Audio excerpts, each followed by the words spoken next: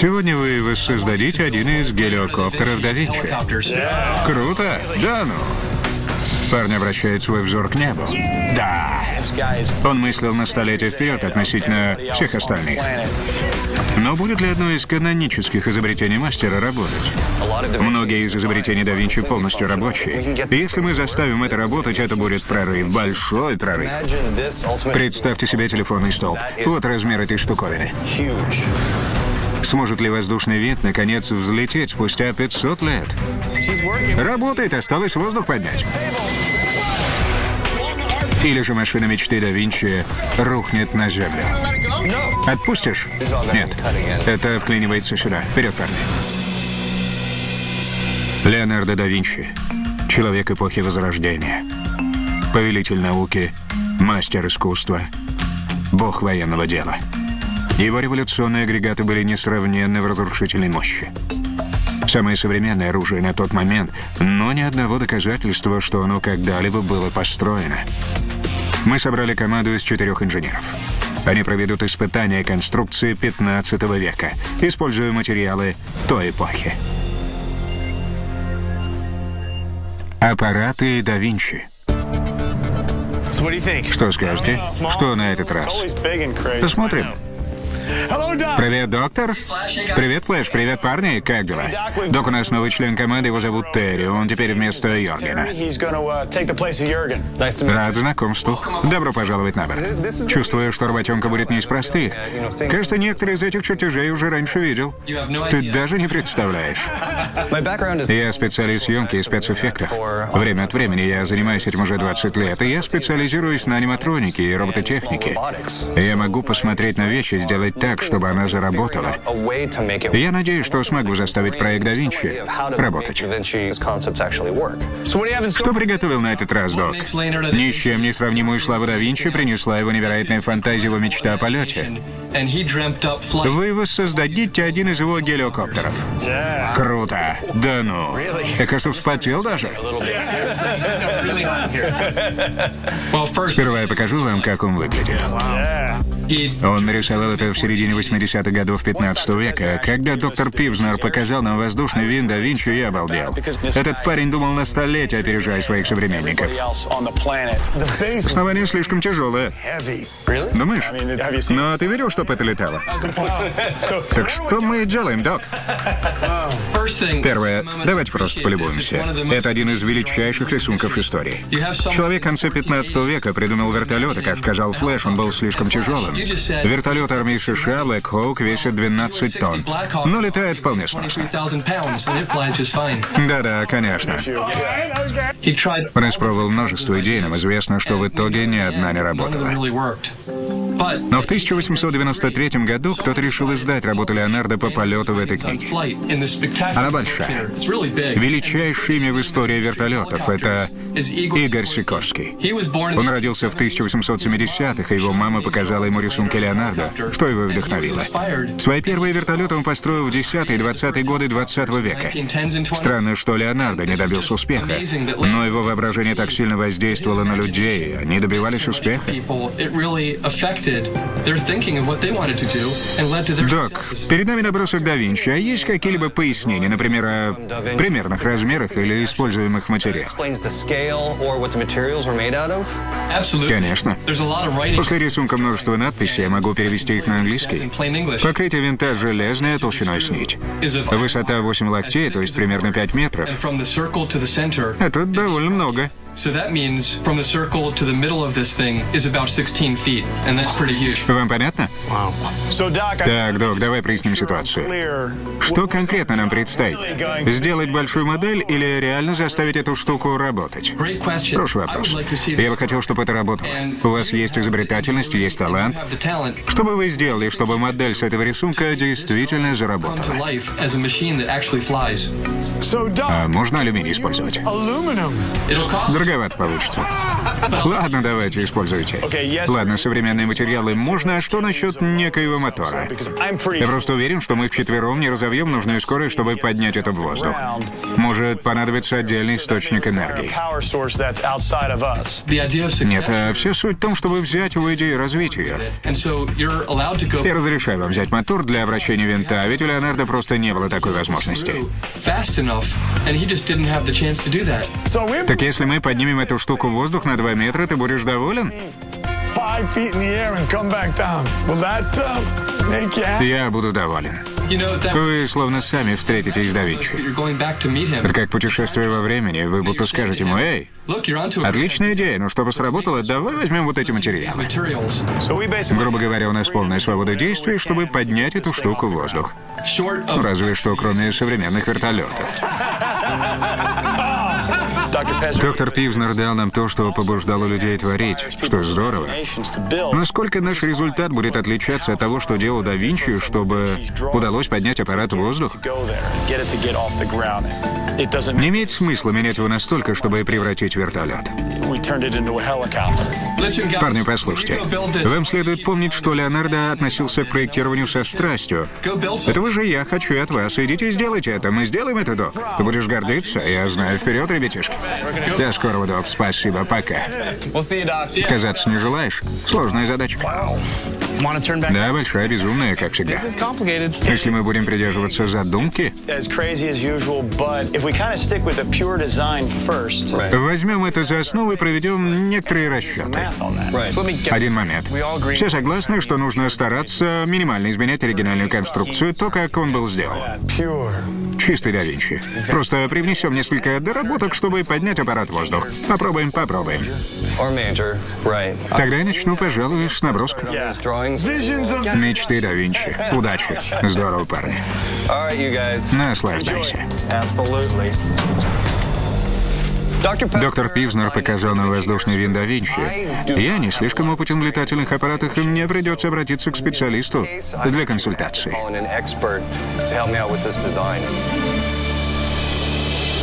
Я думаю, ноль, особенно в этой точке. Эй, что у вас там? Хуан, так? Да. Приятно познакомиться, я Вэл, это Терри. Взаимно, спасибо, что позвали, это Хуан. Хуан наш приглашенный эксперт по сверхлегким дельтапланам. Он их собирает, летает на них, в общем, разбирается. Чем могу помочь? Нас тут воздушный винт да Винчи, и нам нужно заставить его хотя бы оторваться от земли. Символически.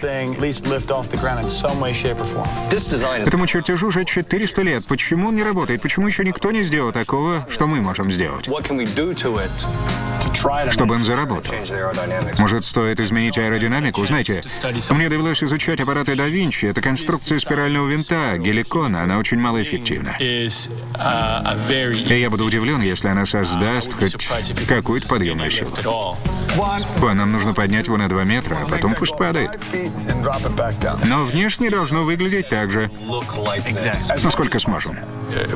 Мне нужно проанализировать, как устроен винт, как он обеспечивает тягу. Конечно. До начала работ мне нужно собрать модель. И посмотреть, какова подъемная сила и насколько устойчивым будет аппарат. Потому что, насколько мне известно, никто раньше не пытался воссоздать эту машину. Мне это очень нравится. А для чего мы тут все и собрались? Леонардо взял идею подъемной силы птиц. Они бьют крыльями туда-сюда, чтобы взлететь, но это не так. И если бы птица так делала, то она бы тряслась на месте. Суть в крыле. В том, чтобы поверхность была не плоская, а выгнутая для создания отрицательного давления. И когда сила взмаха достаточная, то она уже не может удержаться на земле. И взлетает. Просто повращав это руками, можно почувствовать, как воздух идет вниз, то есть некая тяга все же есть. А значит, можно надеяться. Что теперь требуется от меня на данном этапе? Чертежи с измерениями. Ясно. Для трубы, которая по центру. Ага. Наша основа, чтобы их можно было выгибать. И пока можете начать собирать секции, мачту, поперечные балки и тросовые крепления. Потом мы натянем парус.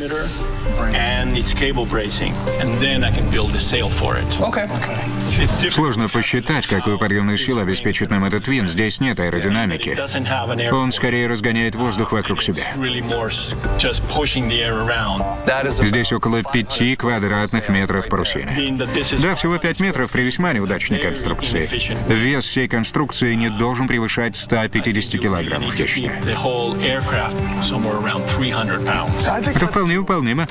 Согласен. Начну выяснять, где можно раздобыть материал. Он все время на телефоне сидит идеальный секретарь.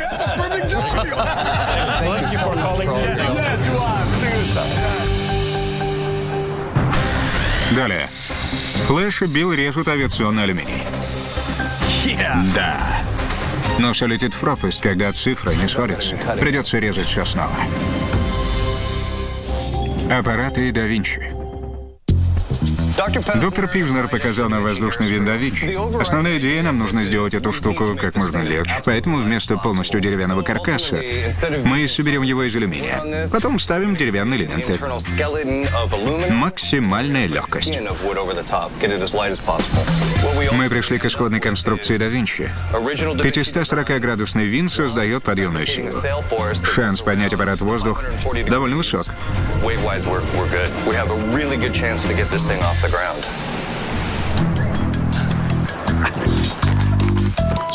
Сегодня привезли алюминий. У нас несколько балок для пола, которые мы нарежем для каркаса пола, и из нескольких мы соберем основной каркас. Yeah! Это наша мачта, вокруг нее несколько скоб для крепления секции винта. Это держатели для лопасти винта. Когда мы посадим их на скобы на мачте, вот так. Мы приварим скобы к мачте, и готово.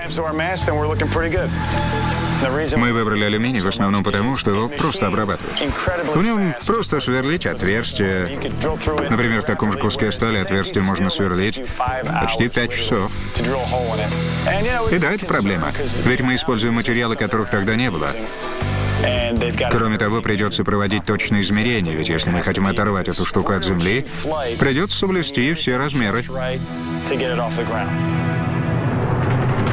Это квадратный прокат, который мы положим в основу. Другими словами, хоть у нас оно и круглое, отверстие внутри квадратное. Это будет сделано из пенополистирола.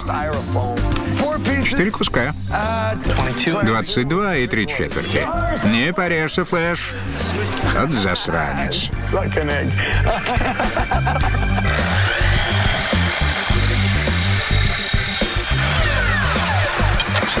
Перепроверь. Точку. Ты смотри, да?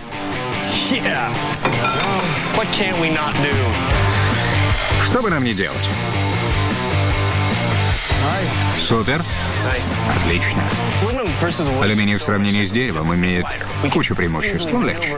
Его можно легко гнуть, легко распилить там, где нужно. Супер. Его не так трудно держать, и пока все идет по плану. Все верно. Сейчас на полу мы расчертим радиус 4 метра для основания вертолета. Итак, сначала идет алюминий, потом покрывает пенополистирол.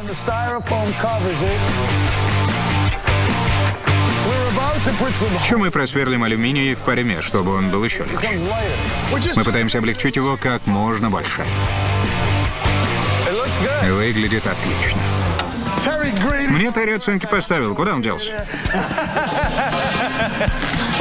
Всем пятерки. Кроме тебя. Я крутой, крутой, крутой. А ты отличный студент. Вы, парни, режьте металл с помощью рулетки, я будто в параллельную вселенную попал. Кто будет следующий? Ты, сто процентов. Ладно, парень. Вот что у меня тут. Это наш винт, он разбит на сектора, похожие на куски пирога. Похоже на спицы в колесе. Это все нужно нарезать по 95 сантиметров.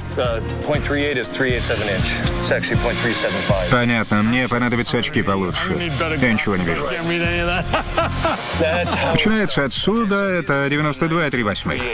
96 и 3 восьмых. Все увеличивается на 3 восьмых. Понятно? Понял? 92 и 3 четверти. Убедись, что все верно. Я тут пытаюсь сделать точные измерения. Эта штука, друзья мои, называется рулетка. This, my friend, is called a tool. I mean, a um, tape measure.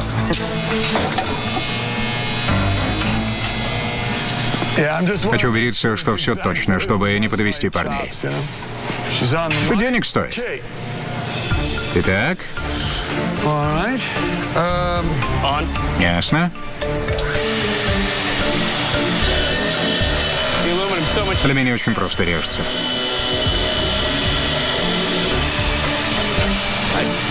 Супер. Сейчас я начну проверять длину труб, потому что они должны быть 100, 375, а здесь помечено 103 четверти, что меня пугает. Я вытащил несколько штук, и на всех написано 103 четверти. Я сверялся с планом, там нет ни одной балки с такой длиной. Там указано 103 восьмых. Погоди, 100 и 3 четверти, кажется так. Где у нас вообще такие? Я просто... Погоди. Тяни этот конец. Что-то мне нехорошо. Да, меня чуть не вырвало. Абсолютно серьезно. Добро пожаловать в мой мир. Я долго гадал, что там было не так, и вспомнил, что нарезкой занимались Билл и Флэш, и будь я проклят, если они что-то напутали в цифрах, которые я им сказал. Скорее всего, они не так поняли схему, я думаю. Вот тут 375, они, наверное, приняли за 75. Вот идет Флэш, эй, Флэш. Флэш, как дела? Неплохо, а в чем проблема? Рик, сюда. Не-не-не-не-не. Что это у тебя тут за замеры? 92 и 3 восьмых. 92 и 3 восьмых. А тут все по 3 четверти. Не знаю, где он учил математику. Может, она другая была в его детстве, не знаю. Вот в чем дело. Теперь ясно. Теперь ясно. Сейчас исправим. Они нарезали их чуть длиннее, совсем немного. Но это к лучшему, мы можем их просто подправить. А математика за последние сто лет не менялась случайно. Джентльмены, что? Дайте я вас немного вдохновлю сегодня. Давай. Да Винчи и полеты. Только не пораньше. Сейчас только один очки. Что-то задумал старый. Он всегда не от мира сего. Полетав хоть однажды, вы всегда будете ходить по земле, обратив взор к небу. Вы там были, и вы туда еще вернетесь. Спасибо. Ну, наконец-то, что-то в тему сказал. Полетели. Давайте его в небо отправим. Первый раз что-то относящееся к работе. Неплохо. Итак, начинаем собирать основания. Мы сделаем его в форме пирога. Все части будут стремиться к центру. Сейчас я начну вырезать эти грани и расставлять их по местам.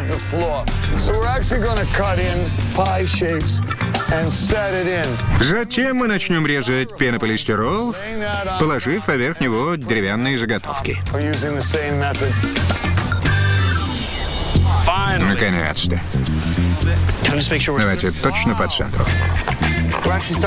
Сейчас мы ставим внутренние балки основания, а потом начнем нарезать пенополистирол нужной формы, чтобы покрыть конструкцию.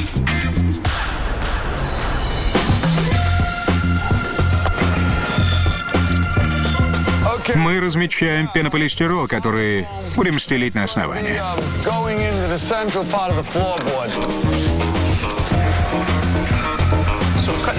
Режем пенопласт для укладки формы. Потом мы накроем верх. Надеюсь, что аэродинамика будет в порядке.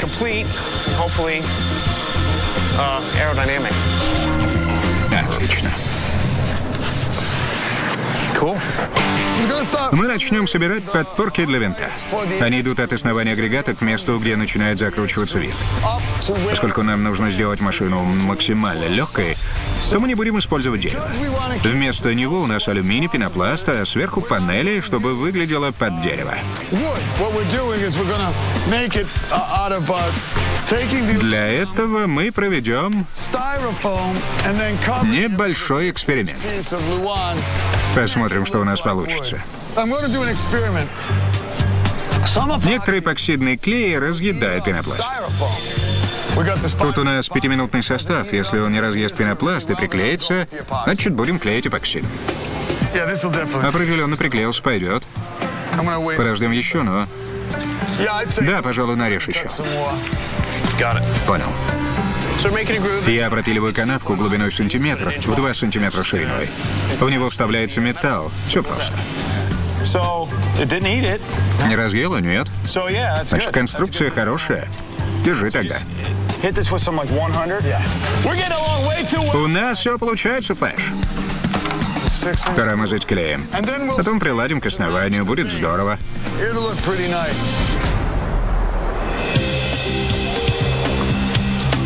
Вот нынешний план.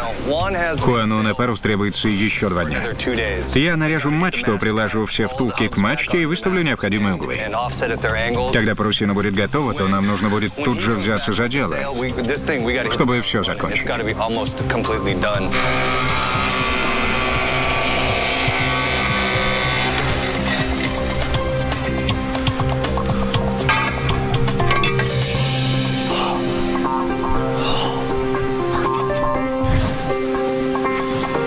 Самое главное расстояние, которое мне нужно соблюсти, это от основания до нижней втулки. Так я помечу все, что будут делать Флэш и Билл снизу, и то, чем буду заниматься я. Я оборачиваю лист бумаги вокруг мачты, чтобы образовать ведущий край по всей окружности.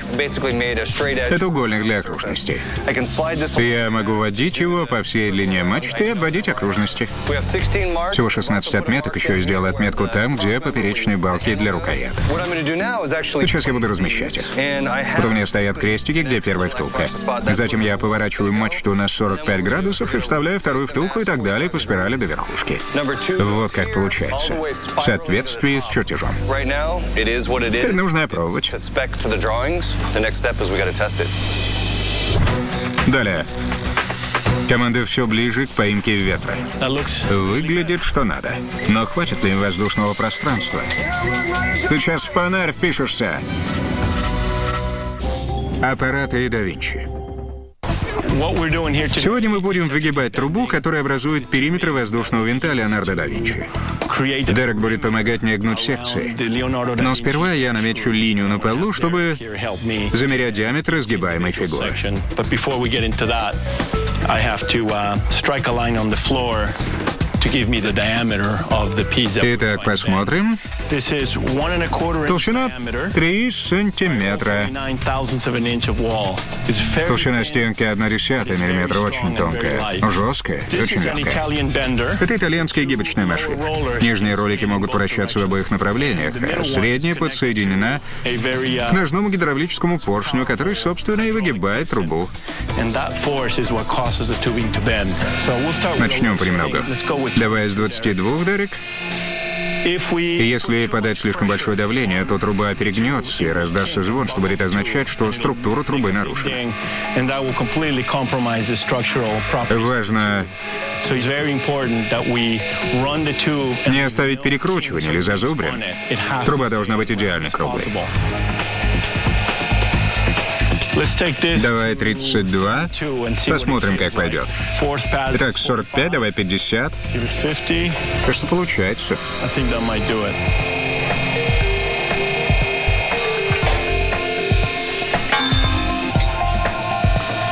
Кажется, все, Дерек.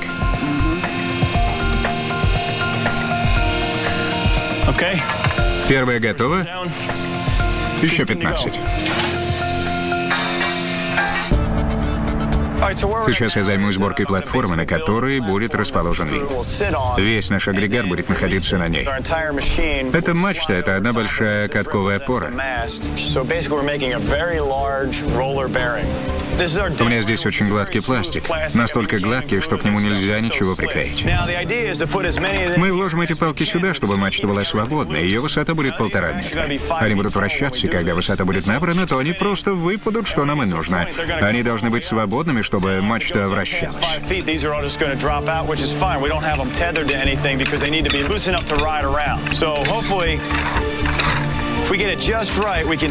Кажется, у нас все в порядке.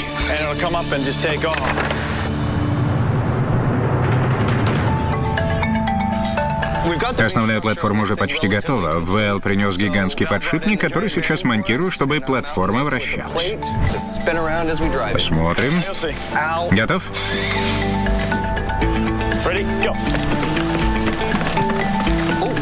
Я начну разрабатывать парус для крыльев воздушного винта да Винчи. И сделаю образец. Материал, который я выбрал для этого, тот же, который я использую для дельтапланов и глайдеров. Это стопроцентная докроновая ткань, очень крепкая. Еще она не пористая. Леонардо тоже понимал, что нужна такая. Тогда была лишь толстовая ткань, но на некоторых чертежах есть пометки, что ее следует заменить. Леонардо в свое время выжимал из материала все. Он много анализировал, какие материалы использовать. Он предложил накрахмаленный холст, который не пропускает воздух. Но остальные материалы были очень тяжелыми, очень сырыми по сравнению с современными.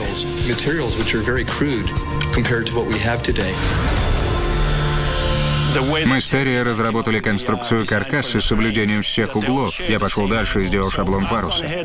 Всего несколько слоев клейкой ленты позволят мне резать точно по требуемым линиям. Карандашом я намечаю линии, одна панель не будет отличаться от другой.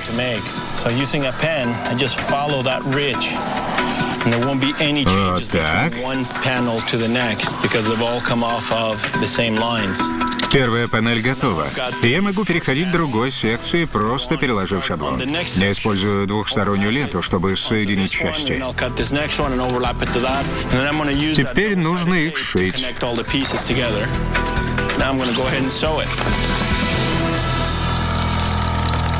сшить. Я шью промышленной швейной машинкой с зигзагообразными швами, которые намного крепче, чем прямые. Нить здесь из стопроцентного нейлона. Это своего рода искусство, и мне оно нравится.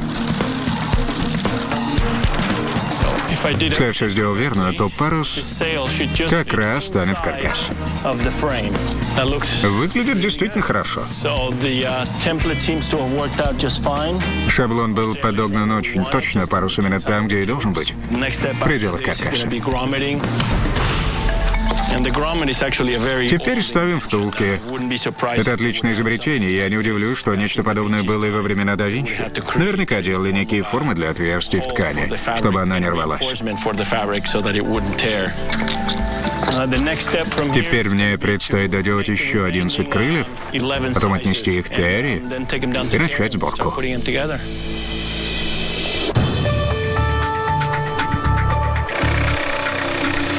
Это верхушка пусковой платформы.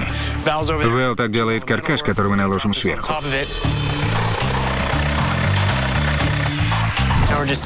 Теперь просто покрасим, и никто не заметит разницы. Теперь основание собрано, и пора укладывать фанерный лист. Мы уложили фанеру, все детали уже приварены. То, что надо. Наверное, даже лучше, чем идеально. Теперь нужно разместить роликовые подшипники. Теперь тут повсюду подшипники. Такие ролики были даже на рисунках да Винчи. А ролики, которые под днищем, они невероятно гладко идут. Я очень доволен результатом. Давайте поставим мачту и посмотрим, что будет. Мы в целом готовы к установке мачты. Это самая тяжелая часть сборки. Сложнее мы еще не делали. Она ведь 10 метров в длину. Раз, два, три. Еще там очень тонкие стенки. Если мы ударим мачту, то можем запросто ее повредить. Если это произойдет, то придется все начинать заново. Кто-нибудь встаньте сюда и держите. Сегодня было немного странно. Мы поднимали мачту и ставили ее на поворотную платформу. Похоже на популярную позу. Да, Имаджима. И Маджима. Она оказалась в два раза тяжелее, чем я хотел после навешивания всех впулок, балок и тросов. Довольно неуклюжая махина. Хватай, Вэл, хватай! Я с тобой поднимусь. Очень важно поставить мачту строго вертикально к пусковой платформе. Поднимай. У нас была шаткая установка. Такой лифт с платформой торчала деревянная балка, разные тросы, а мы с Терри пытались потрясти мачту, чтобы она села вниз. Очень сложно.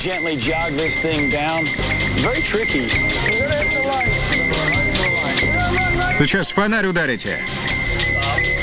Сколько еще поднимать? Уже близко. Стенки трубы очень тонкие. Если мы ударим стойку, то у нас большой шанс повредить ее. Пойдет? Да. Держите, опускайте. Всем внимание, следите за пальцами, мы сейчас будем опускать. Теперь аккуратно, как только возможно, опускайте эту штуку. Осторожно. Слишком быстро опускается. Пошла. Ты будешь отпускать? Нет, черт возьми. Не буду говорить обо всех этих подшипниках, которые мешали нам поставить мачту на место. Пошла. Да, хорошо, хорошо. Когда мы подняли ее на лифте, она начала соскальзывать, и я слышал, как кричал Билл, как кричал Флэш. И тут мы отпустили ее. Бум, она встала прямо на свое место. Давай, давай, давай, руки скользят. Соскальзываю. Готово? Мы опустили лифт, и кажется, что все получилось как надо. Уже были готовы закреплять ее основательно. Давайте ставим четыре подпорки. Ставим опорные балки и прикрепляем их к мачте. Вот это здорово. Мы все затянули, поставили подпорки, и уже стало похоже на винт. Работы еще было много, но все наши труды начали выливаться в некий результат. Аппарат стал обретать форму. Выглядит, что надо. Когда приладили рукоятки, все встало на свои места, мы решили прокрутить ее аппарат пару раз. Ну что, готов?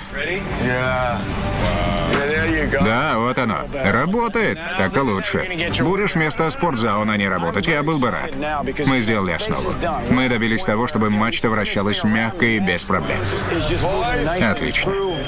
Хорошая работа. Я очень доволен результатом, очень доволен. Давайте ставить лопасти и посмотрим, что получится. Это еще одна ситуация, когда мы начали ставить лопасти, когда я начал чувствовать, будто мы упускаем что-то. Но я не знал, что.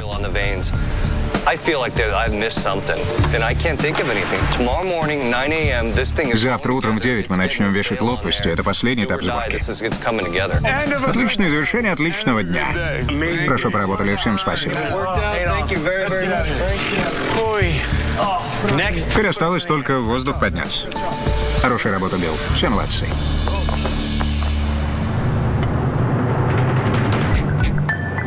Сегодня Хуан привез лопасти для воздушного винта. Попробуй повращать, тяга чувствуется. Конечно, чувствуется. Ты еще угол увеличь. Да, другое дело, меня голова уже кружится.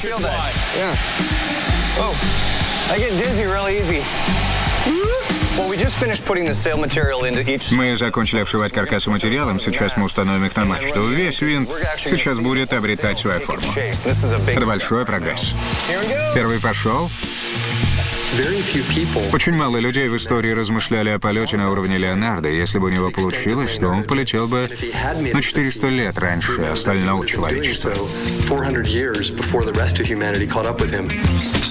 Сборка проходила просто. Было немного неудобно поднимать лопасти на подъемнике и устанавливать на мачту. Но, в общем, было довольно просто. Вторая сборка проходит в спешке, словно под дулом пистолета. Но было весело. Я уверен, что когда док Пивзнер придет, он будет поражен. Это прекрасный аппарат, возможно, самый изящный из тех, что мы собирали. Только вот полетит ли он? Пока не знаем. Ожидание меня убивает. Знаю, знаю. Привет, док, что скажешь? Всякий раз, когда я вижу это на бумаге, я себе его таким вот представляю. Он огромный. Пойдем посмотрим поближе. Давай запустим его. Красивая вещь. С художественной и эстетической точки зрения это нечто прекрасное. Навевает воспоминания. Это мечта Леонардо о полете. Построив это, ребята сделали маленькое чудо. Эй, Хуан. Джонатан Пивзнер, рад знакомству. Хуан наш летный эксперт. Красиво, очень красиво. Произведение искусства. Я ожидал нечто подобное. Похоже на скульптуру, а если она еще полетит, это будет невероятно, ведь уже как произведение искусства аппарат очень хороший. Интересно, насколько он работоспособен? Сможет ли он взлететь? Ван? В такой форме я сильно в этом сомневаюсь. Лучшее, что мы можем, это раскрутить ее посильнее и посмотреть, что будет. Конечно. Итак, док, давай небольшой ликбез. Естественно, что мы не сможем вращать лопасть с нужной скоростью. Ты можешь видеть тут специальные моторы и колесики, я сейчас все объясню. У нас есть регулятор скорости и четыре мотора на батареях. Мы сможем вращать винт, не находясь на нем. А вручную без моторов вращать можно? Конечно. Просто чтобы почувствовать, каково это. Сейчас ты попробуй шагай, встань на черную панель. Я встал в центр аппарата с еще тремя парнями. Давай немного повращаем, потому что скоро голова закружится. И мы вчетвером начали вращать. Готов к запуску? Готов? Не упади. Очевидно, что это задумка Леонардо из его манускриптов. Это то, что нужно было делать, чтобы запустить аппарат. Для меня это был особый момент. Я это изучал. Я люблю Леонардо. Давайте скорее. Вот мы здесь и пытаемся запустить винт. Это великолепно. Вы сейчас делаете примерно 20 оборотов в минуту. Он не полетел, а кое-кого из нас закружилась голова и началась тошнота от бега по тесному кругу. Меня это не затронуло, и я был слишком увлечен и лишь думал, мы действительно пробуем сделать это. Представьте себе, что Леонардо да Винчи еще и бомбу изобрел. Следующий шаг в попытке запуска — это попытка приладить мотор, чтобы винт стал крутиться быстрее, подъемная тяга усилилась. Эти тросики здесь для безопасности, потому что если один из этих канатов оборвется, то может запросто ударить лицо. Это интересно, что Леонардо и сам пришел к выводу, что мускульной силы будет недостаточно. Готовы? Итак, парни, все внимание, не спать. Он стал вставлять пружины и другие устройства в другие свои вертолеты. Это сходится с тем, что он не добился результата. Я чувствую ветер. Это как раз от винта. 75%, ну уже продолжай. Вот и все на полную. Может, тогда хватит? Отпускаем. Все готовимся отпускать. Раз, два, три. Ничего. Посмотрите на тросы. Как разболтало. Да, они растянуты. Идея того, что эта штука вот так просто взлетит, была из тех, которые все равно никто полностью не верил. Если бы он и раньше летал, то у меня бы такой точно был. Жутковат на самом деле. Да, немного страшновато, но мы так и не добились нужной тяги. Что еще можно сделать, чтобы он полетел, учитывая этот опыт? Я думаю, нам стоит разработать план. Либо сделать аппарат легче, либо заставить его вращаться быстрее. Нам нужно придумать самое логичное усовершенствование, чтобы поднять это в воздух, а это непростой вопрос.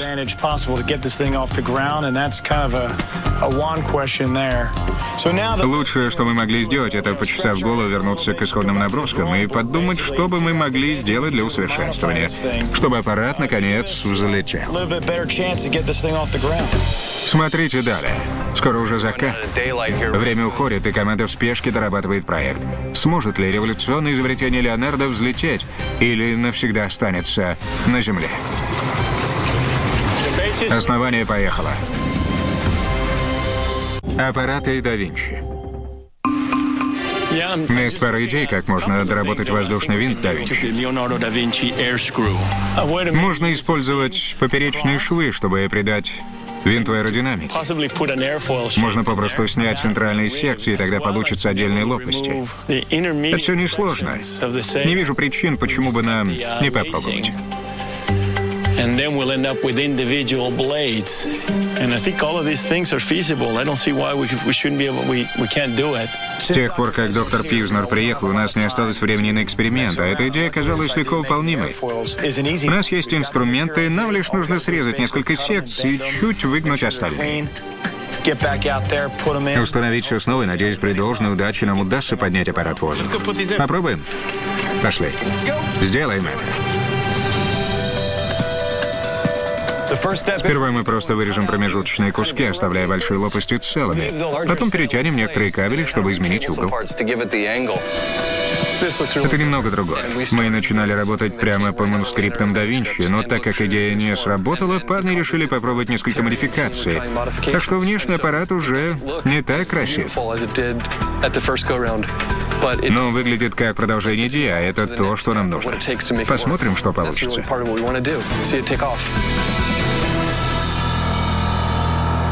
Спасибо Хуану за такую быструю работу. Мы управились его за час. Это так. Выглядит уже не так красиво. Это да, уже не так изящно, как раньше. Да уж не то. Но с точки зрения летательного аппарата выглядит очень красиво. Намного лучше. Ну что, готовы? Запускай. Занимайте позиции, господа. Пусть уже эта штуковина полетит. Если кто-то закричит, бегите, бегите. Доктор Пивзнер, вы будете наблюдать, если хоть какая-то тяга. Я дам вам знать. Ладно, парни, все готовы? Какой у нас ветер? Да запускай эту малышку. Ветер, кажется, хороший, начинаем взлет. Следите за тросами, смотрите, чтобы ничего не запуталось. Терри, внимание. Если в твою сторону полетит, то тебя по лицу огреет. 50%. Быстрее можешь? 67%. Ну же, взлетай давай. Я будто огромную рыбину поймал. Вот так, кажется, получается. Отпускаем и посмотрим. Раз, два, три. Должен сказать, что ветер чувствуется, но подъема никакого. Основание повернулось сантиметров на 30, наверное. Всего-то. Это из-за вибрации, скорее всего. Куан предположил, что основание провернуло, что аппарат едва не взлетел. Все пошло прахом. Давайте, у нас есть шанс, попробуем. Четверть мощности. 60% быстро. Основа движется. Платформа двигается. Все, что есть. Раз. Два. Три. Вперед.